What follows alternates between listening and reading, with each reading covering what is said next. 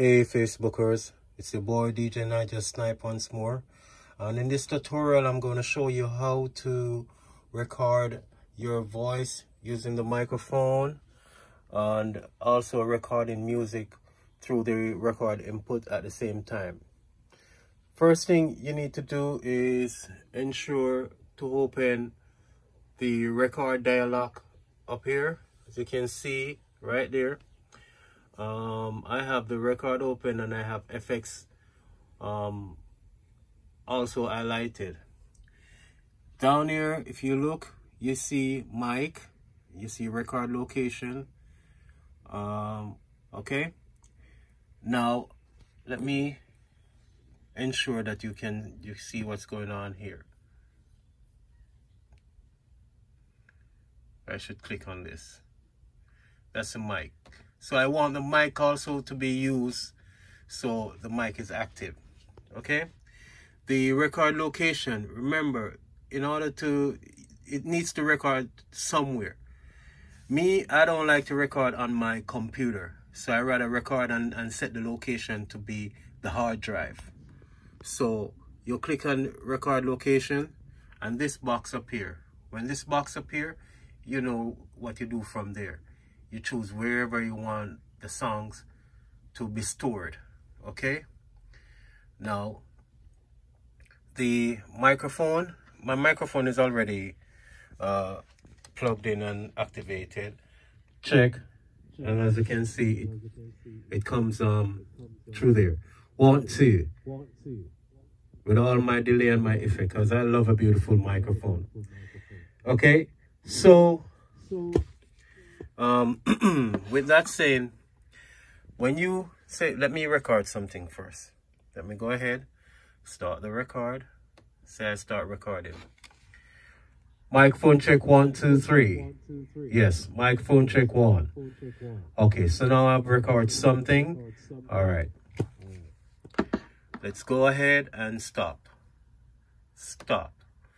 Now, now that we stop, we need to name the file. Um, if we do not name the file, we won't remember what it is or anything, but you so you need to name it.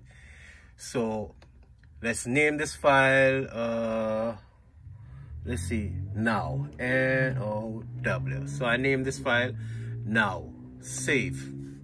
Right away, a lot of things occur on your screen. You know what happened on your screen? Automatically, Serato realized that you just recorded something and is saving your file. Your file is also being saved in this Serato. So, and it's also been saving record. So if you did not create this file record, Serato will create it for you automatically just to hold your recordings.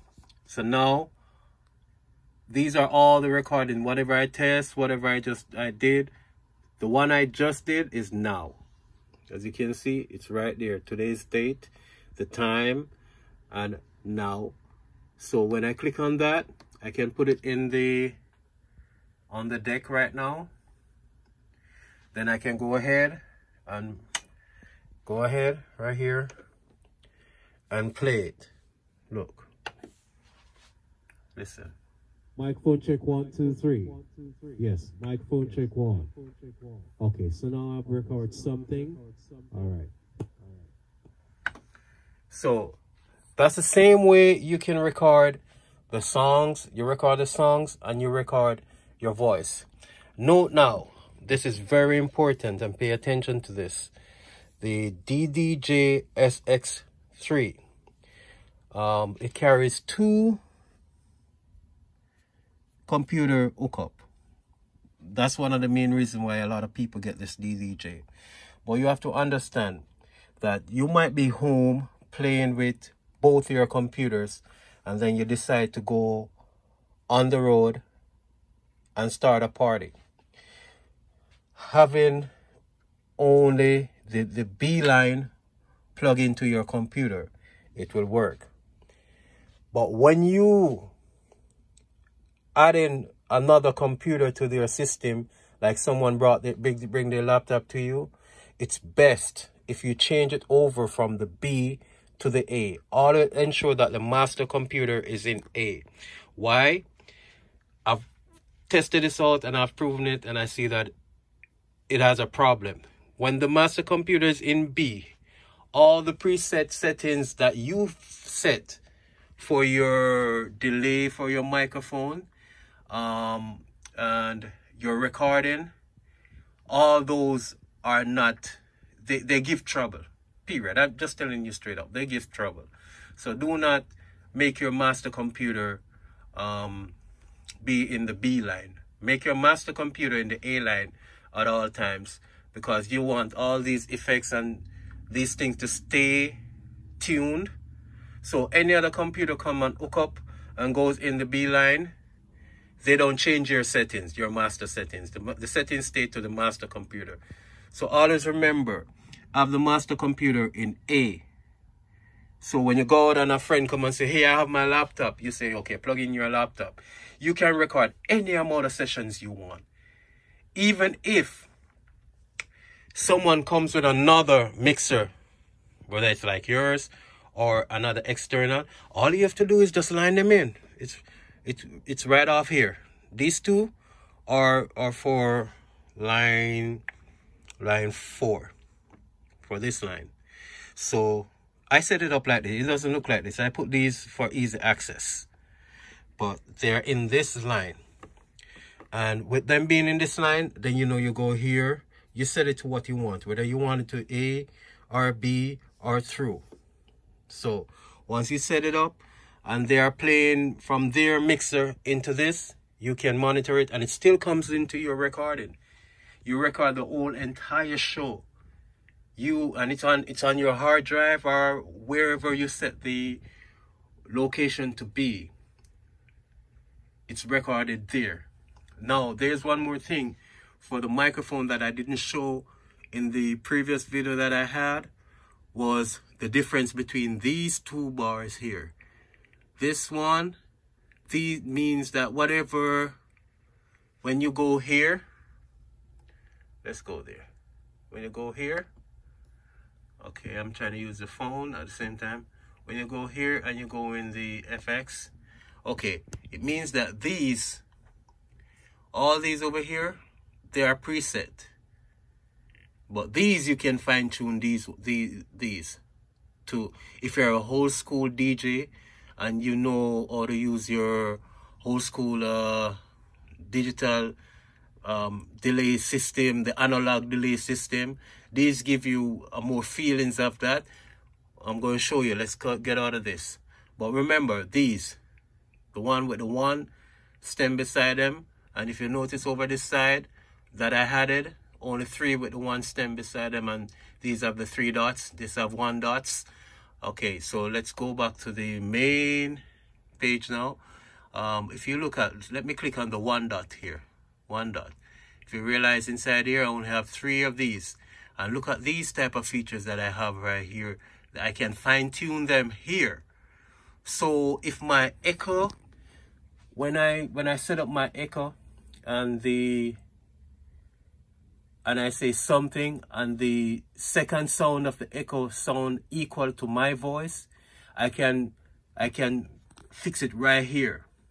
I can fix the, the loop. I can fix the feedback.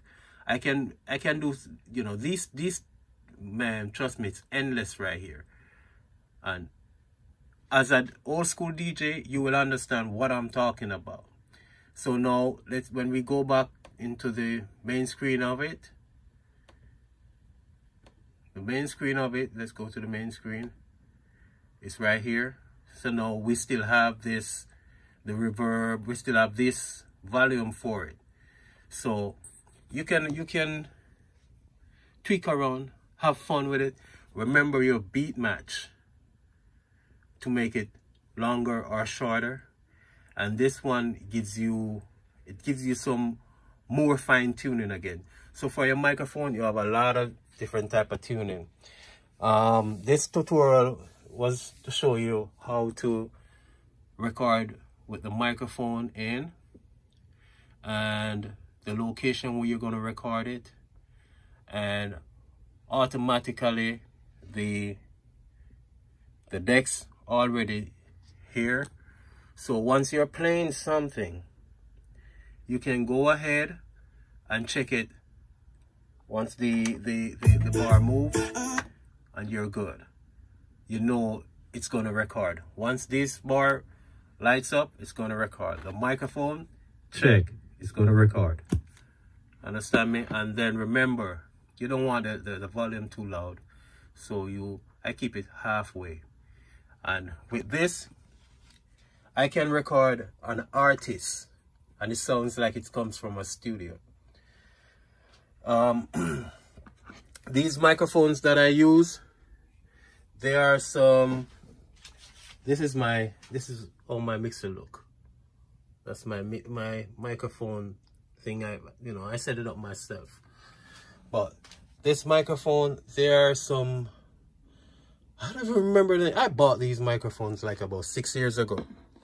Um, man they work wonders you know and they are beautiful they give beautiful sound. Everyone that use them they just love it. I have new microphones but why using your new microphones to get them damaged when these are still rocking this this the the show?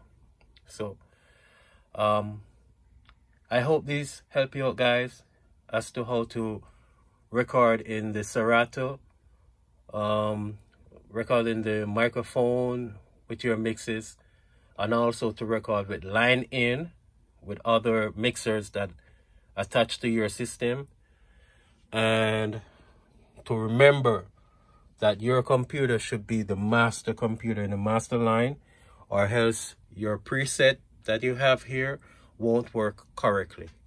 Hope this video helped you guys out. Please don't forget to share and like it's your boy Nigel Snipe with one more tutorial. And please check out my next tutorial on the, oh my gosh, the iRig I have an rig that um, I made a tutorial out for, which is this. What this bad boy does is um, it's a lining for when you're doing YouTube live or Facebook live. You use this to cut down the frequency. So whatever sounds goes in the phone that you're using to make your live video, if you're doing your live mixes on YouTube, um, to come out beautiful and sound like it's a CD that they're listening to on the other end of their phone. So hope this video helped you guys out. Um, leave your comments and don't forget to share and like and give me a thumbs up. Thanks for being a loyal follower. Okay, bye-bye.